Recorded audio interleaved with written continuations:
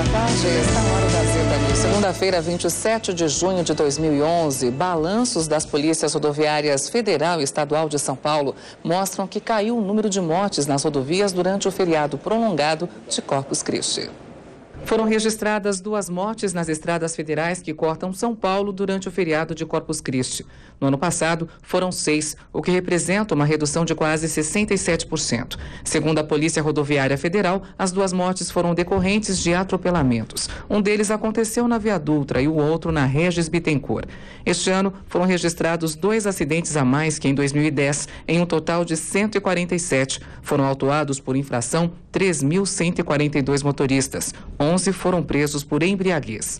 Nas estradas estaduais, apesar do aumento do número de acidentes, houve menos mortes. Segundo a Polícia Rodoviária Estadual, foram registrados 1.302 acidentes, cerca de 50 a mais do que no ano passado.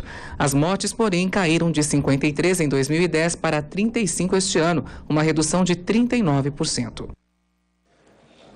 Foi enterrado na manhã de hoje no cemitério do Morumbi, em São Paulo, o ex-ministro da Educação Paulo Renato Souza. Políticos de diversos partidos, como o ex-presidente Fernando Henrique Cardoso, do PSDB, o governador de São Paulo, Geraldo Alckmin, o ex-governador José Serra e os senadores Eduardo Suplicy, do PT, e Cristóvão Buarque, do PDT, do Distrito Federal, compareceram à cerimônia. Paulo Renato tinha 65 anos. Ele morreu na noite do último sábado em um resort de São Roque, no interior de São Paulo, vítima de um infarto fulminante fulminante. Paulo Renato foi um dos fundadores do PSDB e criou, quando esteve à frente do Ministério da Educação, no governo FHC, o Enem, o Exame Nacional do Ensino Médio, e o ENAD, Exame Nacional de Desempenho dos Estudantes. Paulo Renato deixa três filhos e seis netos.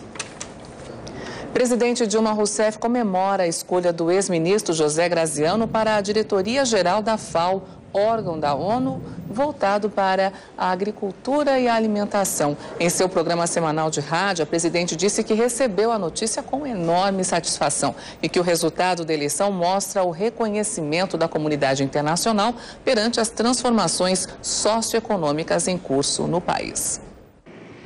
Essa é a primeira vez que um brasileiro é eleito para a direção de uma das instituições mais importantes da ONU. O engenheiro agrônomo José Graziano da Silva, de 61 anos de idade, vai comandar ações de combate à fome no mundo. Ele é o novo diretor-geral da FAO, o órgão das Nações Unidas, que cuida de alimentação e agricultura. As eleições foram realizadas neste domingo em Roma, na Itália. Em votação de segundo turno, o brasileiro obteve 92 votos e derrotou o espanhol Miguel Ángel Moratinos por quatro votos de diferença. Ele vai suceder o senegalês Jacques Diouf, que ocupou o cargo de diretor-geral durante 17 anos. O mandato dele vai de 1 de janeiro de 2012 a 31 de julho de 2015. Graziano, que ocupa o cargo de diretor regional da FAO desde março de 2006, foi ministro da Segurança Alimentar e do Combate à Fome durante o governo Luiz Inácio Lula da Silva.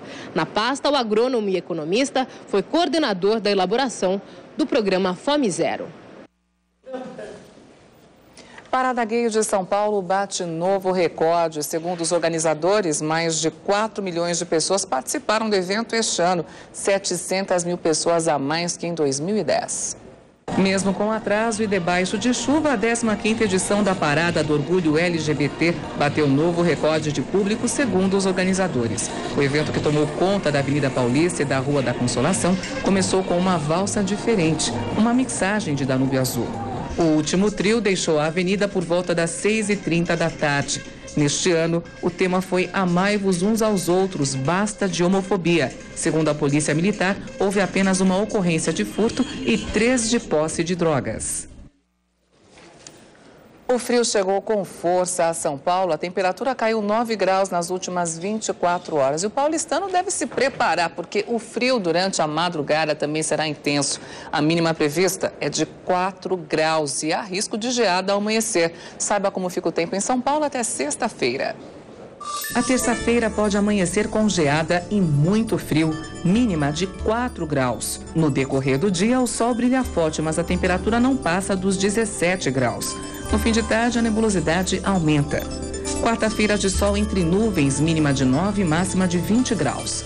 Uma nova frente fria se aproxima do litoral paulista na quinta-feira. As nuvens aumentam durante o dia. Previsão de pancadas de chuva à tarde e à noite. Mínima de 12 e máxima de 22 graus. Na sexta, o sol aparece entre muitas nuvens. Em alguns períodos, o céu fica totalmente encoberto. Chove a qualquer hora. Mínima de 13 e máxima de 23 graus. Levantamento mostra que 45% dos acessos à internet feitos no Brasil acontecem em lan houses. O dado é do Comitê Gestor de Internet no Brasil. Isso significa que mais de 32 milhões de brasileiros precisam ir a uma LAN house para ter acesso à rede mundial de computadores. Os usuários são, na maioria, jovens com idade entre 14 e 24 anos, que possuem renda pessoal mensal de até R$ 1.200 e que trabalham ou estudam.